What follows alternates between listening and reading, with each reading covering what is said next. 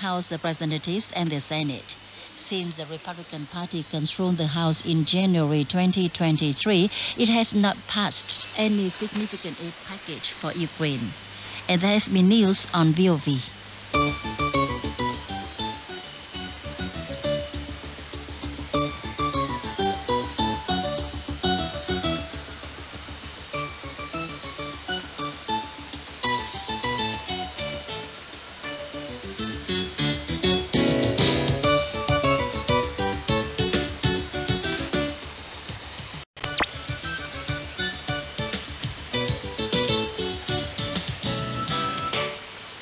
You are listening to Radio Voice of Vietnam, and here comes current affairs. As of January the 20th, Vietnam has more than 1,700 active overseas investment projects with a combined capital of more than 22 billion US dollars.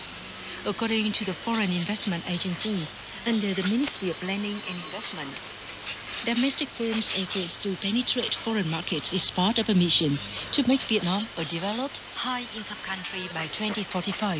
Vietnamese businesses have invested in 79 countries and territories worldwide, focusing on 16 industries and sectors. Vietnam's most successful overseas investments are in the field of information technology. According to the Ministry of Information and Communications, more than 1,500 Vietnamese tech firms are earning revenue from abroad, up 4% from 2022. Viettel Global, an affiliate of Viettel Group, is an example. Viettel Global fetched a record $3.6 billion from foreign markets last year, exceeding its annual plan by 105%.